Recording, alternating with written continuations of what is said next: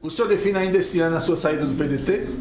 Não, a saída não, nós vamos ver o futuro partidário como é, que vai se desdobrar, porque com a nova legislação nós temos que formar o coeficiente dentro do próprio partido. Então, é, temos que formar um grupo e de acordo com, com essa formação ficarei sem nenhum problema. Se não formar, sairei sem também nenhuma rusga. O senhor se sente isolado no PDT de Campina? Não, não.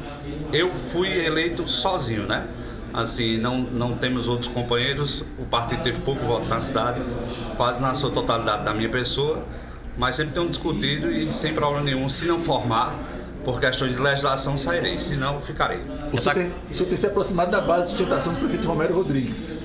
Não, em nenhum momento é, nós acompanhamos Romero aqui na, na, na Câmara, o governo, sempre tem votado com a oposição, apesar de não termos feito críticas por críticas. Isso aí às vezes confunde mais a imprensa do que a população. Já recebeu convite de algum partido para se filiar?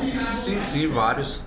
É um momento que vários partidos nos procuram, mas não vou declarar nomes, declinar nomes nesse momento.